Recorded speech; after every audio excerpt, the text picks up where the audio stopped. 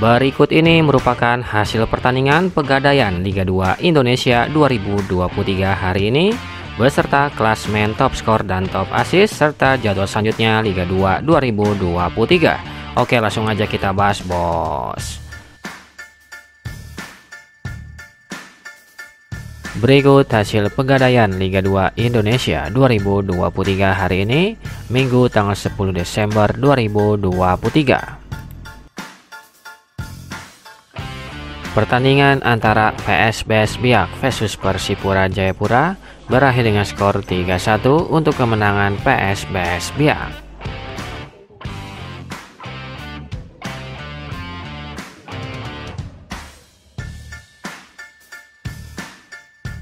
Pertandingan antara Persiba Balikpapan versus Persipal Palu berakhir dengan skor 2-0 untuk kemenangan Persiba Balikpapan.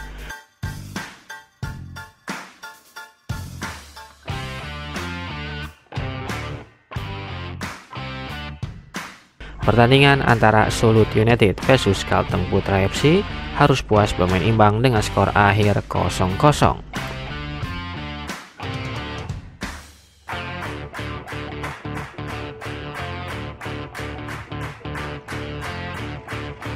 Pertandingan antara Persijap Jepara versus Gresik United berakhir dengan skor 2-0 untuk kemenangan Persijap Jepara.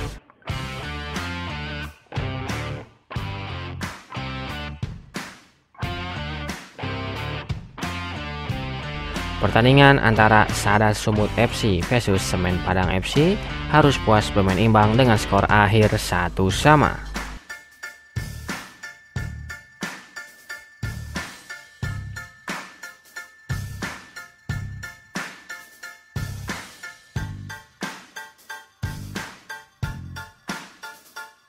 Untuk kalian yang ingin melakukan transaksi, jangan lupa pakai Brimo. Karena sepak bola olahraganya Brimo Mobile Bankingnya Brimo, berikan semangatmu. Berikut daftar top skor sementara Pegadaian Liga 2 Indonesia 2023-2024. Di peringkat pertama ada NWK dari Semen Padang FC dengan torehan 11 gol dan di peringkat kedua ada Alexandro dari PSBS Biak dengan torehan 10 gol.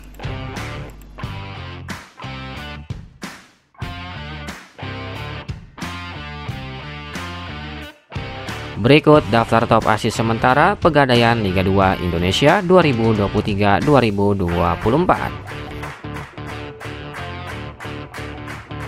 Di peringkat pertama ada rival di Bawo dari Sriwijaya FC dengan torehan 5 asis dan di peringkat kedua ada Hambali Tolip dari FC Bekasi City dengan torehan 4 asis.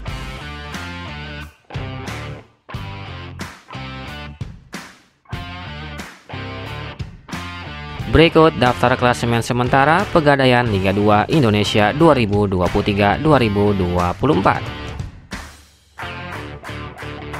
Untuk grup A di peringkat pertama ada Semen Padang FC dengan torehan 24 poin. Di peringkat kedua ada Persiraja Banda Aceh dengan torehan 18 poin. Di peringkat ketiga ada PSMS Medan dengan torehan 16 poin.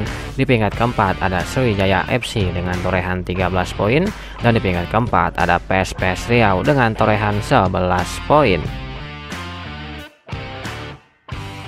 Selanjutnya untuk grup B di peringkat pertama ada FC Bekasi City dengan torehan 23 poin. Di peringkat kedua ada PSM Yogyakarta dengan torehan 20 poin. Di peringkat ketiga ada Malut United dengan torehan 19 poin. Di peringkat keempat ada Nusantara United dengan torehan 13 poin. Dan di peringkat kelima ada Persikap Kabupaten Bandung dengan torehan 12 poin. Lalu untuk grup C di peringkat pertama ada Persela Lamongan dengan torehan 26 poin. Di peringkat kedua ada Gresik United dengan torehan 16 poin. Di peringkat ketiga ada Deltras FC dengan torehan 16 poin. Di peringkat keempat ada Persijap Jepara dengan torehan 14 poin. Dan di peringkat kelima ada Perseka Tegal dengan torehan 11 poin.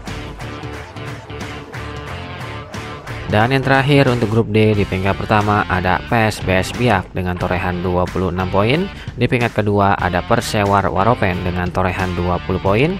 Di peringkat ketiga ada Persipal Palu dengan torehan 18 poin. Di peringkat keempat ada Persipura Jayapura dengan torehan 14 poin.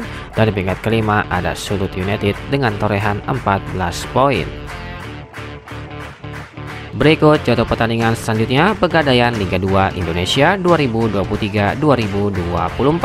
Selanjutnya pada hari Senin tanggal 11 Desember 2023 akan ada pertandingan antara PSC Cilacap versus Perseka Tegal pada jam 15.00 waktu Indonesia Barat live di Viditcom dan akan dilanjutkan dengan pertandingan antara Persiraja Banda Aceh versus PSDS Deli Serdang pada jam 16.00 waktu Indonesia Barat live di video.com.